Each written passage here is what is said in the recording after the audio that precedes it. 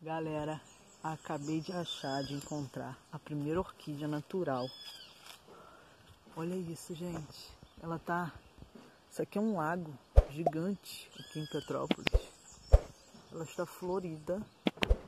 E olha isso. Olha que encanto.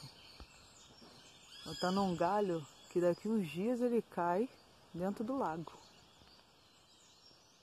Olha que magnífica. Estou encantada, gente.